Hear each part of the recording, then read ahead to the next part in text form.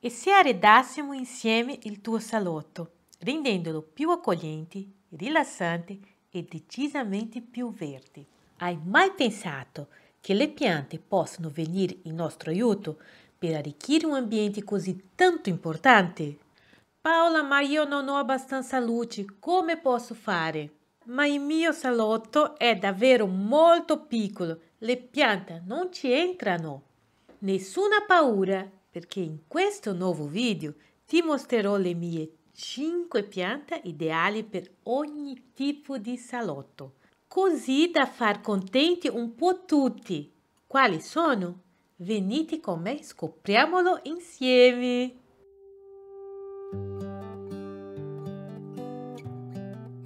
Io sono Paola e se non ci conosciamo, benvenuti sul canale. E se anche tu hai finalmente deciso di rendere casa un ambiente più verde e accogliente, sei nel posto giusto.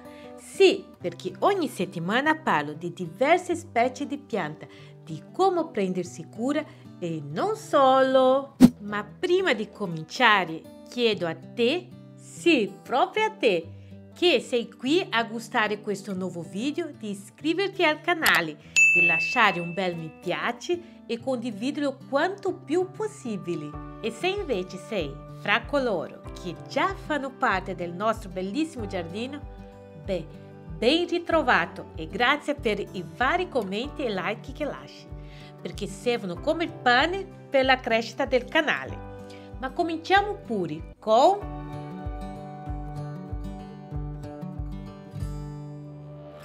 Ti dico subito che il singonio è una delle piante più facili o forse la più facile fra quelle che ti presento oggi di cui prendersi cura. Originaria dell'America tropicale, ha fra le sue caratteristiche quella di essere una pianta dalla crescita rapida. Non è ingombrante e si presta benissimo nel caso in cui decidessimo di farlo, di appenderla nei vari punti del salotto. Provate a immaginare ha una piccola parete arredata in modo da sembrare una vera e propria cascata verde. Interessante, vero? È una pianta da mezz'ombra, anche se non le dispiace un po' di sole diretto, a patto che sia quello un po' più delicato che troviamo al mattino presto o quello presente nei mesi più freddi dell'anno. Dal momento che in natura il singonio cresce sotto gli alberi può essere una delle piante che trovano volentieri posto in quell'angolino non tanto illuminato e di difficile impiego. Parlando di substrato, questo deve essere decisamente drenante e ben arieggiato. Aiutiamoci quindi con del materiale inerti come la perlita, zeoliti o carboni vegetali e arricchiamolo con del terriccio di buona qualità. Ricordati della temperatura ideale Essendo una pianta proveniente da ambienti tropicali, si trova a suo agio in una compresa tra 15 e 25 gradi e con una percentuale di umidità di almeno il 60%. Per quanto riguarda la meglio aspettare che il substrato sia molto asciutto rispetto al normale. Non avere paura e aspetta pure quando sia lui a suggerirti quando è arrivato il momento ideale. Personalmente procedo in questo modo. Aspetto che le foglie si abbassino un pochino. Quando inizia a assumere una posa un po' triste, significa che è arrivato il momento giusto per darle dell'acqua. Ricordati inoltre da utilizzare il metodo da immersione.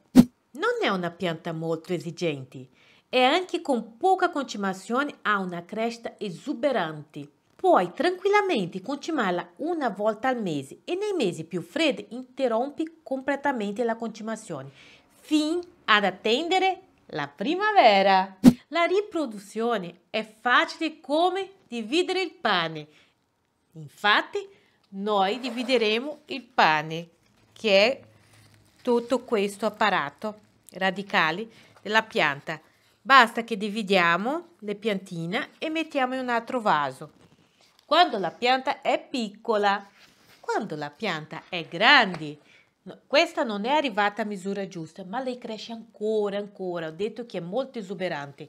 Taglia un pezzettino e fai una talea. Si presta molto bene alla idrocultura. quindi anche per fare le piantine potete mettere nell'acqua e fare le radici e poi mettete un substrato.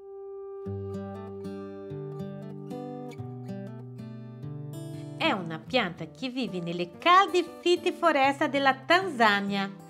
La loro particolarità è che è una pianta che non cresce tantissimo, rappresenta un vero jolly per quei salotti piccoli e non troppo luminosi.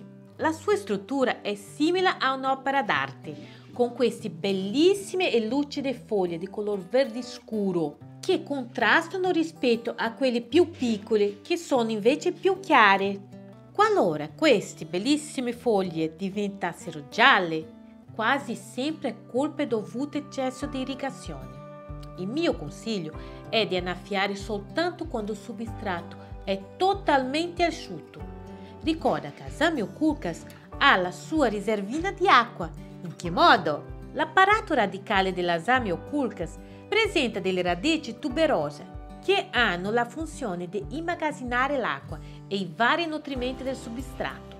Quindi è particolarmente adatta a un ambiente più umido e con un substrato molto asciutto. Metti pure l'Asamio culcas in un angolino protetto dai spifferi e sbalzi di corrente e mi raccomando, cura attentamente l'esposizione luminosa.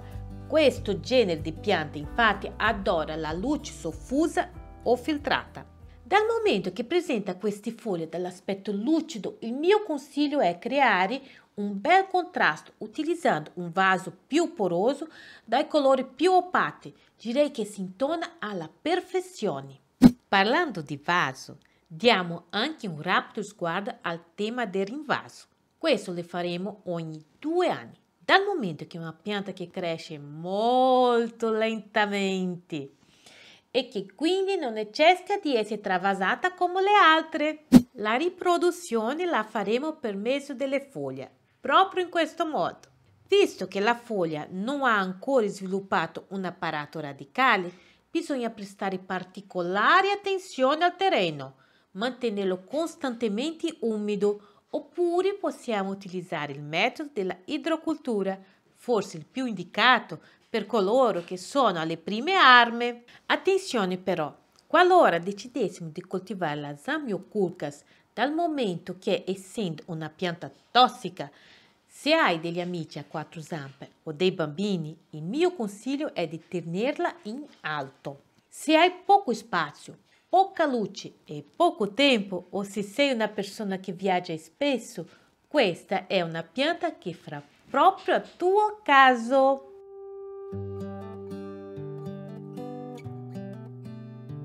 La mostera deliziosa è una pianta originaria dell'America centrale e adora il clima caldo e umido. È un genere di pianta che ama ricevere una grossa quantità di luce, ma Fai attenzione, tanta luce non significa luce diretta. Andremo a preferire un substrato ricco di materia organica. Il mio consiglio è quello di dare un sguardo a questo video che ho realizzato, in cui mostro passo a passo la creazione di un substrato ideale per questo genere di pianta. Parlando di annaffiatura, direi che non c'è una regola ben specifica. Il metodo che utilizzo è quello di attendere che il substrato si asciughi per bene. Il tempo di asciugatura dipende da molteplici fattori, come ad esempio nel caso in cui portassimo la nostra mostera all'aperto. Eh sì, perché io la porto fuori. Noteremo che il substrato tenderà ad asciugarsi più rapidamente. Allora, il mio consiglio è mettere il dito, andare un pochino in profondità quindi aspettate che si asciughi i 2-3 cm, poi puoi mettere acqua. Non bagnarla sempre perché a lei non piace le radici troppo zuppa. Bisogna inoltre sapere che la mostera adora un substrato più umido, ma non zuppo. Quindi è di fondamentale importanza che sia ben drenante. La mostera è una pianta decisamente importante e imponente che ha bisogno di tanto spazio, visto che le sue foglie possono raggiungere e talvolta superare gli 80 cm di lunghezza. Grande eh? Una particolarità di queste foglie risiede nelle loro lacerazioni. Lacerazioni che però compariranno nelle nuove foglie una volta che la pianta avrà raggiunto una certa dimensione. Questa particolarità ha una spiegazione del tutto logica. La mostera, in natura, essendo una pianta arrampicatrice, è facile trovarla nelle zone poste più in alto all'interno di una foresta tropicale. A causa di questa sua voglia nell'arrampicarsi, per catturare quanto più luce possibile, la espone però a quelle che sono le correnti di aria e dal momento che è capace di sviluppare delle foglie così grosse, le difende formando queste fessure che lasciano passare il vento senza che questo possa creare danni alle foglie. Una caratteristica di questa pianta dall'aspetto preistorico è quella di sviluppare delle radici aeree, quindi è nostro compito munirci di un tutore facilmente reperibile nei negozi specializzati in pianta affinché possa arrampicarsi senza nessuna difficoltà. Io la faccio ogni qualvolta vedo spuntare una nuova foglia. Diciamo che è come se gli stessi dando un piccolo aiutino. Per te che hai un salotto grande, luminoso e vuoi una pianta che fa un figurone e che abbia un aspetto preistorico, la monstera fa proprio a caso tuo.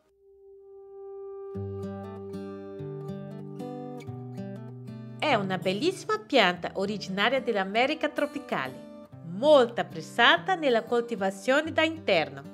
Proveniente dai paesi caldi, ama stare in zona dove la temperatura è più elevata. Quindi in casa la mettiamo in un posto più caldo in quelle zone tanto illuminate. Sole diretto? Sì, ma solo quello invernale o alle prime ore della giornata. Questo perché altrimenti quello più intenso potrebbe causare delle bruciature irreparabili. È una pianta che resiste bene anche in condizioni di scarsa luminosità, ma a parer mio è una condizione sacrificata per lei. Infatti farà fatica a sviluppare i fiori. Un vero peccato privarsene. Un consiglio che mi sento di dare è quello di rimuovere immediatamente le parti secche e morte della pianta. È davvero importante che tu lo faccia perché lei è soggetta a marciumi e a tutte le conseguenze che ne derivano, come le malattie e parassiti. È una pianta che ama la compagnia, quindi ti suggerisco di metterla vicino o all'interno del vaso in compagnia a altri, proprio come io in questo caso adora la compagnia della Diffenbachia, anche perché ne condividi tantissime proprietà. Annaffiatura. È una pianta che ha bisogno di acqua con una certa frequenza. Per questo è importante che abbia un substrato aerato e drenante. Il suo punto debole risiede sul fatto che è una pianta che soffre tantissimo lo stress idrico. Per coloro che non lo sanno, lo stress idrico è quando una pianta riceve più o meno acqua del necessario. Ciò è facilmente intuibile attraverso il comportamento che la pianta ci mostrerà. Infatti potremo notare un certo affrosciamento delle foglie e dei fiori. Non vi è soltanto l'eccessiva irrigazione, infatti, lo spatifilo soffre anche in condizioni in cui l'acqua scarseggia. Per questo il mio consiglio è quello di controllare bene il substrato prima di aggiungere dell'acqua. Un'attenzione che potresti, non dico trascurare, ma di sicuro avere meno noia nel caso in cui decidessi di utilizzare il mio substrato. Ah, e ti ricordo che questo substrato è un composto da me creato, quindi non viene sponsorizzato alcuna marca o produttore. Concimazione. La concimazione la faremo ogni 15 giorni, sia in primavera che in estate, fino a tutto l'autunno. Nel periodo invernale, invece, dilateremo i tempi allungandoli del doppio, quindi ogni mese. Lo spatifilo è una pianta molto ornamentale per quei salotto di media, grandi e piccole dimensioni. E sai perché? È una pianta che puoi trovare di varie misure e se non ti interessa il fatto che produca dei fiori, puoi addirittura tenerla in un ambiente meno luminoso. Insomma, è una pianta per tutte le esigenze.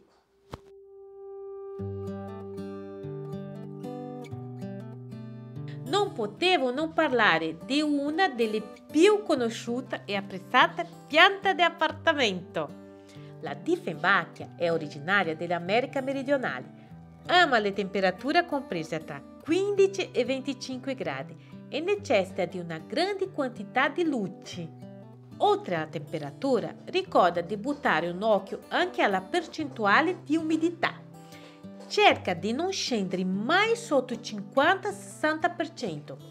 La Dieffenbachia, infatti, se ne riceve poca, può addirittura arrivare a bruciare le punte delle foglie. Essendo una pianta dalle grandi foglie, abbiamo bisogno di tenerla ben pulita dalla polvere, un po' come accade a tutte le piante che decidiamo di coltivare in casa. Questo è fondamentale perché la patina di polvere che si crea sulle foglie ostacola il processo di fotosintesi, fondamentale nello sviluppo delle nostre amiche verdi. Durante la bella stagione potete addirittura sfruttare il fattore pioggia e lasciare che si bagni un po', ma è fondamentale che una volta terminata la doccia venga posta in zona distante dai raggi del sole diretti. Questo gli farà un bene incredibile. È una pianta bellissima con una grande varietà di sfumature che vanno dal verde al giallo fino al bianco e anche nella stessa pianta le foglie non sono mai uguali. Un po' come accade con lo spatifilo, anche se ama ambienti ben illuminati, puoi sopportare anche zone poco luminose, ma è importante che tu sappia che a causa di ciò perderà queste variegature bellissime. Temperatura ideale. La solita che vale per tutte le piante tropicali, ossia quella compresa tra 15 e 25 gradi, con una umidità di almeno 60%. Il substrato da utilizzare per questo genere di pianta è quello che uso per le altre piante tropicali, ossia molto aerato e drenante. Ricorda che le piante tropicali, pur ricevendo in natura una grandissima quantità di acqua dovuta a piogge intense e frequenti, l'accumulo di acqua è per loro fatale. Parlando di concimazione, potete concimarla ogni 15 giorni e in inverno una volta al mese. Per quanto riguarda la riproduzione, è una pianta che si riproduce facilmente per talea oppure per mezzo della divisione del fusto. Nel caso in cui facessimo delle talea, utilizziamo il metodo della idrocultura. In caso di divisione del fusto, invece, mettiamo direttamente la parte divisa all'interno del substrato. Devi assolutamente sapere che è una pianta molto tossica, quindi in caso di talea o divisione del fusto, meglio munirsi di guanti, mi raccomando. Se hai animali domestici o bambini, non lasciarla alla loro portata. La naffiatura è la stessa dello spatifilum. Anche lei piega le foglie quando ha bisogno di ricevere dell'acqua. E questo è uno dei motivi per i quali ho deciso di metterli insieme, proprio in questo bellissimo vaso. E questi erano i miei consigli per arredare con un po' di verde il tuo salotto. Spero che il video ti sia piaciuto e in tal caso fammelo sapere lasciandomi un bel mi piace. Se hai qualche domanda non esitare a chiedermi Sarò felice di rispondere e di darti il mio aiuto. Se hai dei suggerimenti o vuoi semplicemente sapere di più su un argomento in particolare, puoi iscrivermi su Facebook, Instagram, email o utilizzare lo spazio riservato ai commenti. E se non sei iscritto, iscriviti e condividi quanto più possibile il video. Questo è molto importante per la crescita del canale un grande grazie a coloro che ormai sono diventati parte di questo sempre più grande giardino. Un bacio a tutti! Ciao!